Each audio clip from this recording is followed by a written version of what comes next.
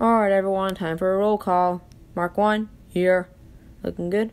Mark 5, here. Alright. Mark 41, right here. Okay. Mark DV? Oh, that's me. Wait a minute, I don't have Mark DV. You're Darth Vader. Uh oh, I gotta go. Oh, ow. hey, everybody, it's MadCrafter 360, and today I'm going to be doing something a little bit different than what I normally do. In this video, I'm going to be opening up not one, but two Lego sets. Clone Scout Walker 20th Anniversary Edition and the Lego Avengers Iron Man Hall of Armor. So the first set I'm going to be opening is the Clone Scout Walker 20th Anniversary Edition. And what's special with this set is that it comes with the 1999 Darth Vader figure, which is why I wanted to make this video in the first place. I wanted to show you guys my thoughts on it. But yeah, and also comes with a really cool Kashyyyk Trooper, which is something I've been wanting for a while. But yeah, so we're gonna start doing. We're gonna start off the video with the um, Clone Scout Walker 20th Anniversary Edition. So on the back of the box, you can see it comes. Uh, you can see it comes with some cool play features, and you can see like with a spider droid over here, you can shoot the you can shoot the stud shooters. Same with the same with the walker itself, and then also says that you can connect all the limited edition minifigures. But yeah, enough of that. Let's get in to the actual opening. I'm excited. Alright, so take my scissors I've got here and start cutting open the box. Alright. There's one flap open. You just gotta open up the other tape. And, oh, come on, it's stuck. There we go. Alright, we've got the flaps open. Let's just open these up. Um, Alright, let's see. We have, let's see, this is back one. Uh, we've got the instructions over here. And then back two. Some stickers. And, yep. And there's the whole box. Alright, so so here's what we have. We have the instructions. Very nice. I like how like it looks so shiny. That's what I like about these 20 sets. They're really shiny. There's actually like the old sets. And then we got some stickers that we put on the walker and the spider droid. Bag two and bag one. You can see, oh look, you can see the the base where Darth Vader goes on. Very nice, but yeah, let's get to the actual opening now.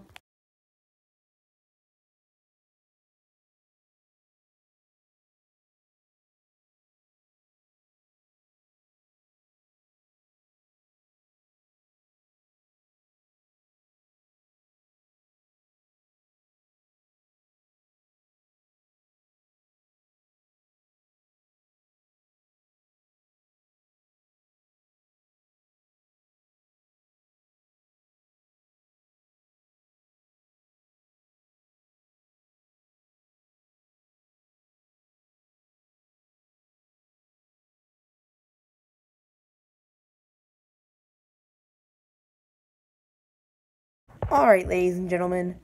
Now, listen, let's get a closer look at everything we have here. So, the first little figure we have here is a battle droid. Very standard and normal. It's not a pilot, it's not, it's, it's just a normal infantry droid. Comes with a standard, comes with a standard blaster rifle. Yeah, very nice, has a little stud on the back in case you want to touch a backpack. Yeah, very nice head. Legs don't move. I wish they would add that. They've they've been keeping it this way for a while. I think it would be really cool if they were to make the legs move.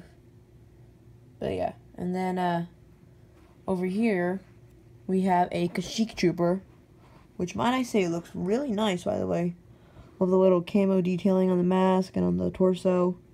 Comes with another one of the rifles, standard rifles, and then really fancy helmet mold which I think is the same as the pilot trooper helmet from like the what's it called the Endor battle. It's normal stormtrooper head. Really nice. see, look at the helmet because I think it just looks really good.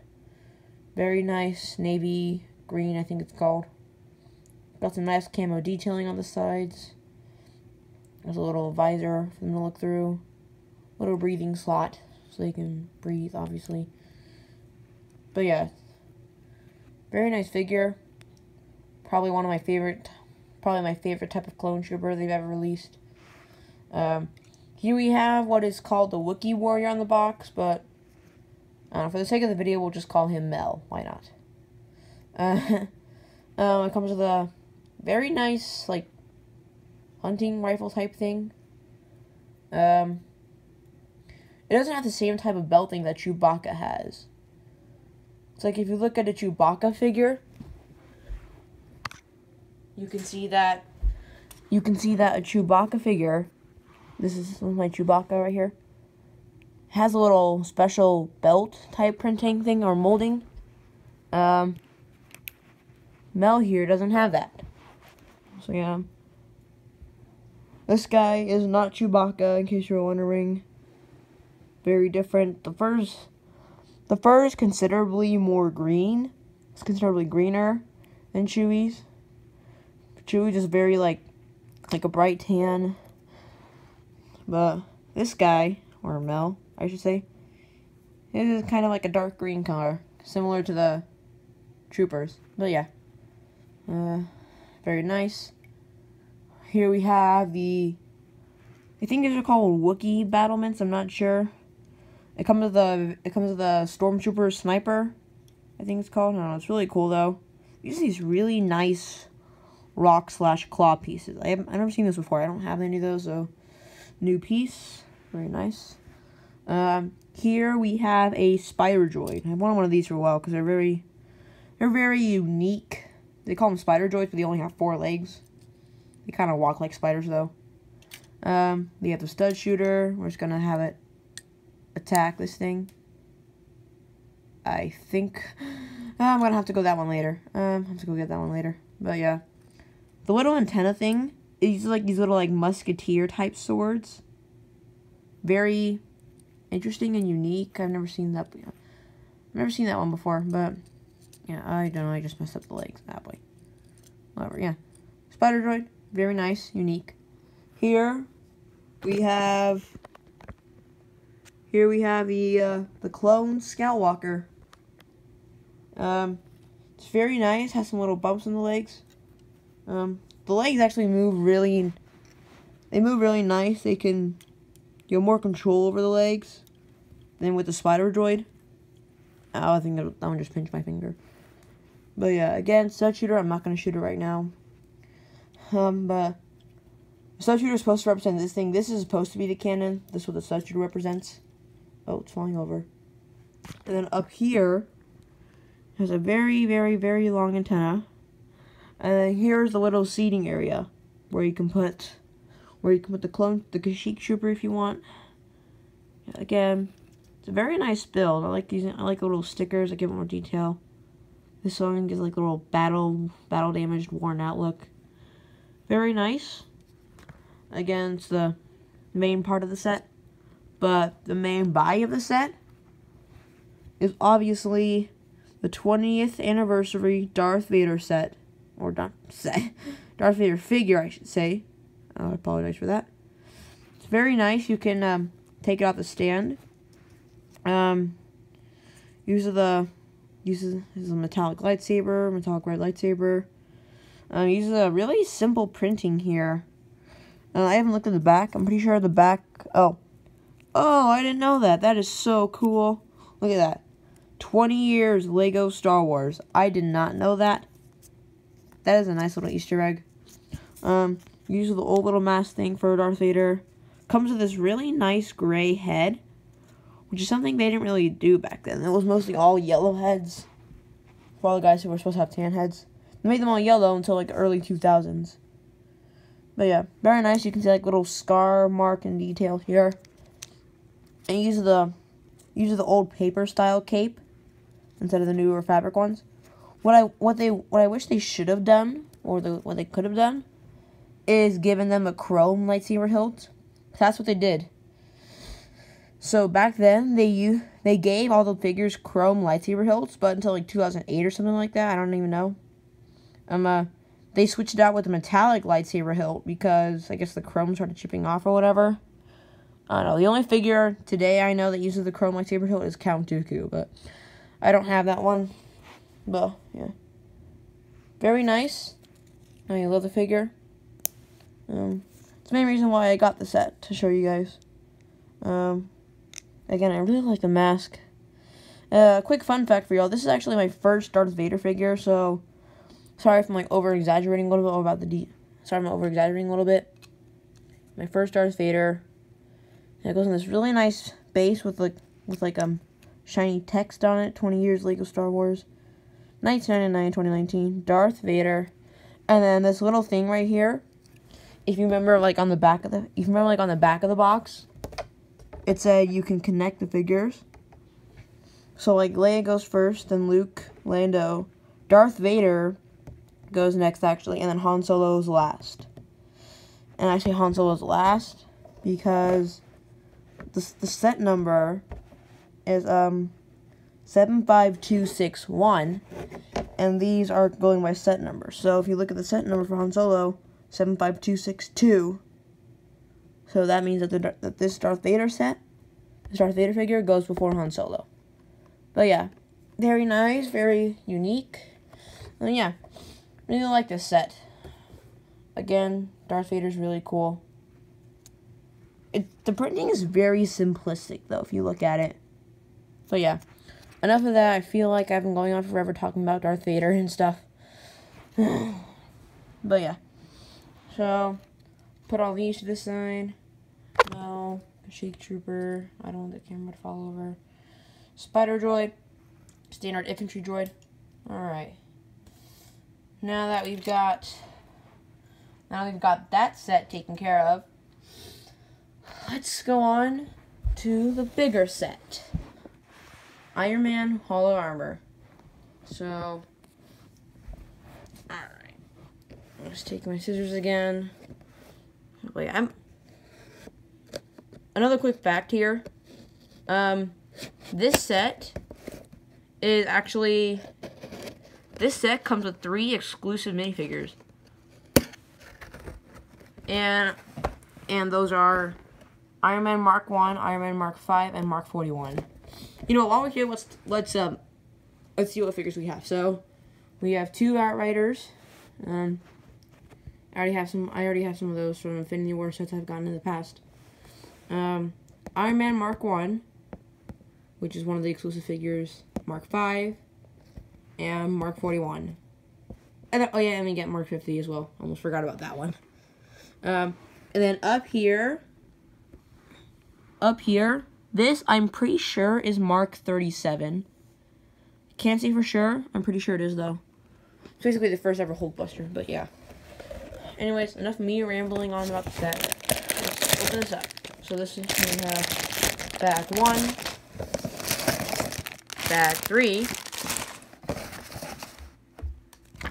instruction book number two, instruction book number one, bag four, which seems to be Mark 37, and bag two, um, a buttload of stickers this time. Last time it was only like, last time it was only two. Um, anything else I'm missing? Nope. Alright. Anyway, time to start building.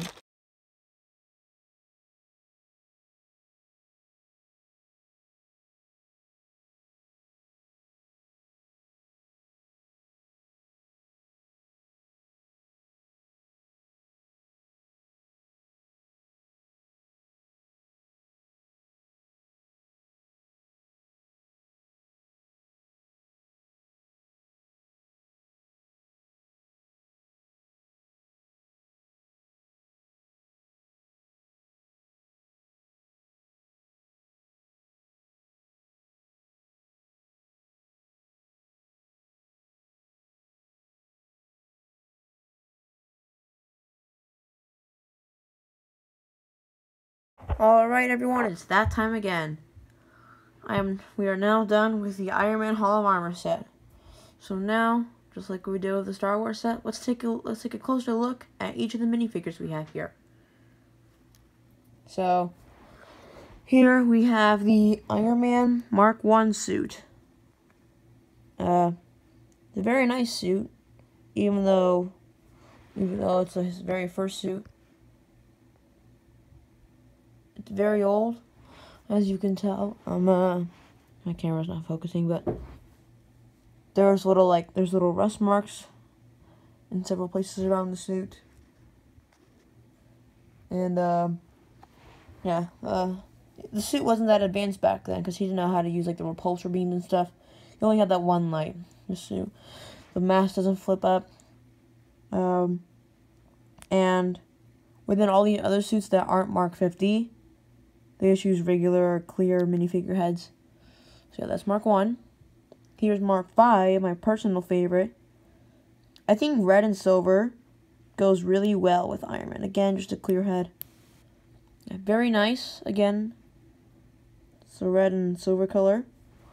Oh, no, it's so out of focus. There you go, much better. Yeah. Red and silver goes really well. I don't understand why Tony do that. Alright, now it's more in focus you can take a closer look at all the rust marks and stuff. Oh, I forgot to show you the back. The back of the torso is just wide open. He didn't even, Tony back then didn't even think to hide all the wires and stuff. But then he got more advanced. This is Mark 41, aka, as I like to call it, the Batman suit, because it looks a lot like him. Um, it's black and gold. Um, it's very nice. Has some weird line printing on the front. Has a lot of lines on the torso as well. Has a lot of gold lines. Same with the back. Again, clear head. Um, also some gold hands as well. Um, there's some printing, the printing goes all the way down to the feet. Yeah, very nice. Again, I think it looks like Batman, kind of. Like a Batman or one of Iron Man suits, that would be that would be the one that he would wear. Um, and here is Iron Man Mark 50, aka Tony Stark. So, this one is not a clear head. Um, this is actually just the, oh, it fell out. Oh, no, no. Okay, I gotta take it out. Um, this is just a one by one clear blue round thingy piece. I don't know what it's called. Uh, sorry about that, but, um, he comes with some nice black spiky hair. Uses the triangle suit like how he, like how the Mark 6 suit does in the original Avengers. Um, and the mask on this one, this suit mask, is probably the simplest out of the other ones. Like this one, very fancy line printing. Same with this one here. This one's just weird. But yeah, the only lines we see here are just those. Very simple. Um, so this, the way this works is so in the set, on the box as well, you can like put Tony Stark's hair on it, but it looks weird because you're supposed to have like the mask on him. But you can also put the mask on. You can also put the mask on there and just put his hair, put the hair on Tony. That's what I'm doing for now. And then over here, over here is like a little flick fire missile piece right here. You just set, you set the piece on there and it will stick and you have a nice little storage spot for any Iron helmet. It could be Mark 5, it could be Mark 41. Heck, it could even be Mark 1. But yeah. Here are our two Outriders. Look exactly the same, no difference whatsoever. Um, unlike the unlike all the other Endgame ones, these don't have claws. I'm pretty sure all the other ones from the Endgame wave sets have claws, but you know, these don't. So that's basically the Infinity War Outriders. Here we have a couple of little fire pieces, and then a little robot thing, probably controlled by Friday or something, or Jarvis maybe. And the little fire extinguisher to put out the fires. Um, over here is the um the Mark 37 suit. I think it's called the Igor suit, something like that. Yeah, it's very nice. You can you can lift these open, and then if you want to, you can put Tony. If you want to, you can put like Tony or something in there. Drop them up like that. Uh, bam. Um, doesn't work. Doesn't work well though. Doesn't work as well though as it probably should. But yeah, very nice. I feel like they could have done a bit. I, feel like they could have done more with this suit than what they did. They could have added like more room to put the minifigure in, but whatever. You can't complain. Yes, that's a nice little construction type printing. Um, this was the only. Let me focus for a sec. This was the only non. This piece right here was the only non-sticker piece in the entire set. This is a this little eye detailing for the suit, but yeah. Um, looks very nice. I actually kind of like it. it. Has some little like silver bar, iron bar pieces on top. I don't know. I think it's supposed to like added little details. But anyways, let's move on. Let's move off to the side. Let's take a look at Hall of Armor itself. I'm absolutely destroying it right now. That's not good. Okay, so the first little part of the set here. So the first thing I want to point out is that you can actually take apart these little sections here. Like you split them. So this is like a little computer area. And as you can see, like if you look closely, there's a little sticker here that says Jarvis on it. Um, cameras. Yeah, you look closely. A little sticker there says Jarvis. You can see it right there. It's very nice. Um, other stickers, intruder ruler showing an outrider, blocked collar. I think it's Happy Hogan. I'm not sure. Uh, there's some other computery stuff. Spinning chair, which I like. Um, a coffee mug. There's another coffee mug over here. There's like a little blender. But anyways, the next part I want to show you is this. This is this is where like uh, I this is where, like the suits stand when they're getting like manufactured, if that's the word. I don't know, but yeah. So as you can see, what I did earlier is um I was doing it to focus it. What I did was I just put oh it's and Tony fell off. I was gonna put I put Tony Stark on here, and they had like these little things like working on him and stuff. Yeah. Very nice. I think these like adding like finishing touches, maybe painting his suit if you wanted, if you wanted to. And then again, switch out the hair, this little area over here. Take out the mask, put it on, put the hair right here, which is how you had it on the box. Um, just for now, I'm gonna leave the mask on. But yeah, that's this thing. You can spin it around if you want to. They connect using like these little like axle rod pieces. Yeah, so this one this goes in here, and then that goes into that little hole there. So yeah. And then the Hall of Armor itself has a little satellite up here with like some little sonar dishes, I think it is. I don't know. But yeah, it sticks to this little brick here. Over here, probably my favorite part of the entire set, we have a little blender. Like, it's really cool how they include this detail. It's like it's supposed to represent a little button here. I mean, you can't really shake it around on the sand. Another coffee mug there. Over here is like some weaponry. Like here's this, even though I think I don't know what that is. I think like you're supposed to hold it and it goes like the like the repulsor beams and it goes like choo choo. But this is like this is a red stud shooter which I have never seen before. I've never seen a red stud shooter. But yeah, I think it's a, I think it's exclusive to this set. I have no idea. It's really cool though, and then and then you can make like the figures hold it you can make the figures hold it. There's Mark 5, for example. Make the figures hold it. You can um, shoot. Really. Uh, I was able to get that one. I didn't go too far. Just went behind the set. But yeah, it's really nice. The mask fell off. Really nice. Very nice little thing they included. Um, over here, again, there's Tony Stark's hair. Here's a wrench just in case you need to fix a suit. This is a really cool. This is a jetpack. And you can attach it to any suit, help it fly. Preferably the Mark 1 since that one can't even fly. So, what you need to do you just stick the jetpack on there and bam. He can fly just, just really easy. But yeah, it's really cool. I think the jetpack is like the coolest part of the set. Um, you can fly. Yeah. Really interesting how they included that. I think they I think they did that specifically for the Mark One. Just so we can um just so we can give it a little boost. if Tony needs to use it. Even though I'm pretty sure it was destroyed the, at the end of the first Iron Man movie. But yeah. Very nice. And um, some little fire pieces.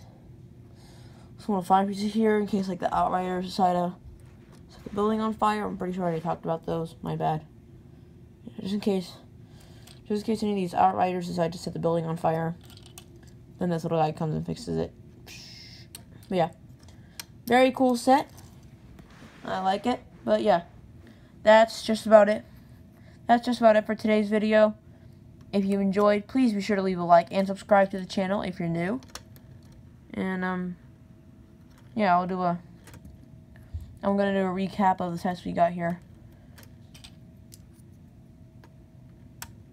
But yeah, so, um, thank you. Thank you all so much for watching. And, uh, yeah. We'll see you guys really, really soon. Goodbye.